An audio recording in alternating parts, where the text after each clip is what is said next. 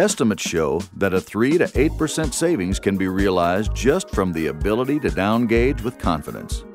That is equal to about an extra football field or 133 meters of productive materials for every roll.